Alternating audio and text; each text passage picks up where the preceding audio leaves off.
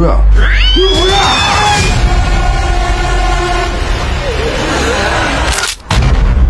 우리가 예상할 수 없는 형태로 변이된 바이러스들이 인류를 괴롭힐 것입니다.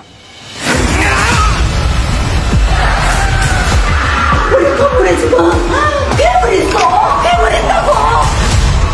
어떤 괴물인데요? 아, 좀비다! 좀비!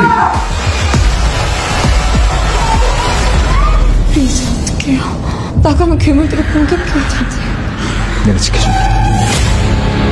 우리 채널 떡상할 수 있는 기회 같은 let's go 가자. 저 태권도 국가대표 상비군이었잖아. 날 믿죠?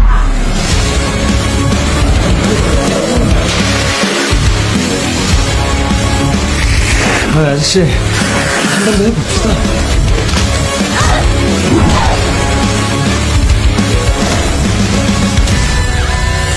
걱정 말아요. 제가 괴물들 유인할 테니까 민정 씨 잠깐 여기 있어요. 씨.